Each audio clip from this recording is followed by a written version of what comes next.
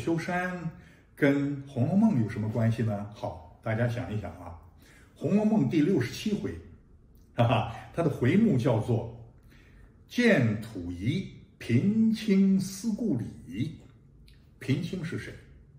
平清就是平平啊。平平是谁？林黛玉啊，是吧？故里是怎么回事？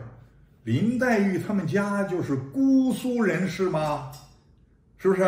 他父亲带着他小时候就住在姑苏啊。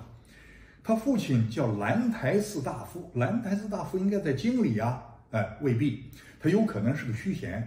他真正受的实衔是什么？他是考科举考试，他是探花啊。他考的这个成绩非常之好啊。他是科举出身的，是吧？本来也是世袭的，后来。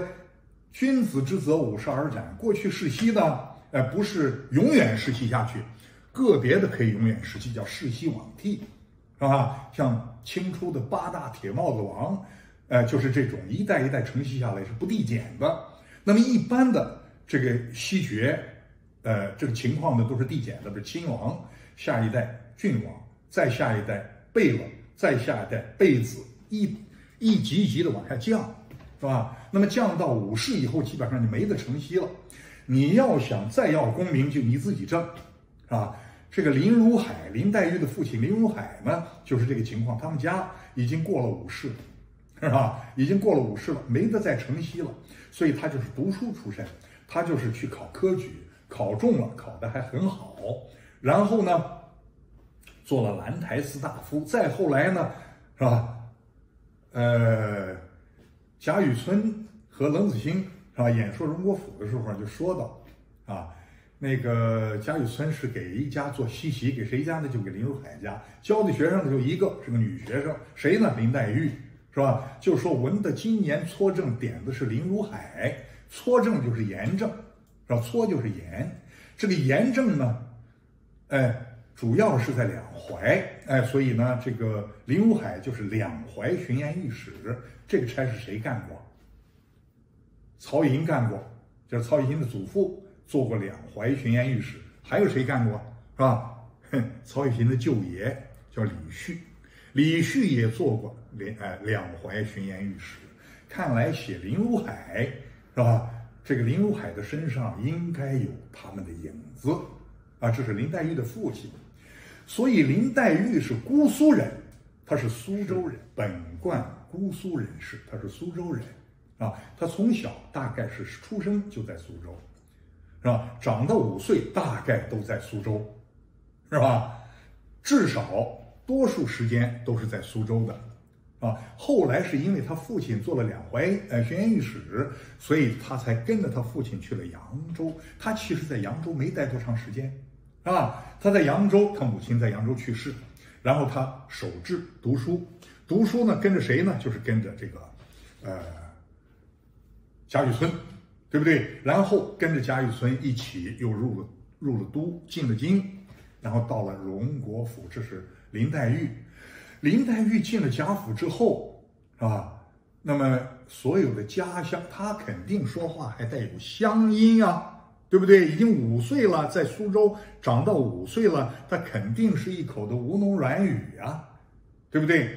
哎，那一听说有东西从家乡来，谁来的？谁带的东西呢？谁带的东西呢？土仪，土仪就是家乡的一些一些一些呃风土之物嘛，对不对？谁带来的呢？是薛宝钗的哥哥薛蟠。哎，薛蟠自己想学着出去做生意啊，是吧？就到南方转了一圈，回来的时候带了很多东西。带了两大箱子的这个礼品给谁呢？哎，给了薛宝钗。他怎么这么有心呢？是吧？这个人很有意思。薛蟠这个人呢，这个在第一次见到林黛玉的时候，是怎么呢？眼形不软，一下子看到天底下还有这么漂亮的呃这个女孩子，是吧？于是身子就酥倒了半边。哎呀，一看这个林黛玉简直是仙人呐，是吧？让他垂涎不已，羡慕不已。但是当然了，他是单相思，是吧？林黛玉怎么会看上他呢？啊，当然，他们家里开玩笑的时候也说过，是吧？林黛玉有一次要认薛姨妈做干娘，是吧？这个薛宝钗说认不得的，不能认。他为什么呢？你认了干娘，那就那就那乱了，那就错了。为什么呢？是吧？那这个我们正要跟老太太说呢，是吧？把你给我哥哥做媳妇儿，是不是啊？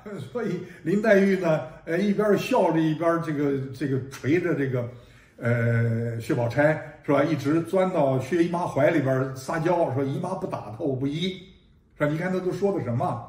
是不是啊？啊，也就是说，他们薛家也不是没打过这主意，但是啊，说实在，说归说，笑归笑，这肯定不合适啊，对不对？那怎么能把这个林黛玉嫁给薛蟠呢？但是薛蟠不一定不知道这些议论，他自己也不一定没有过这心思，从他带回来的土仪就可以看出来了，对不对？知道不知道？一点也不知道。黛玉也不会看得上他。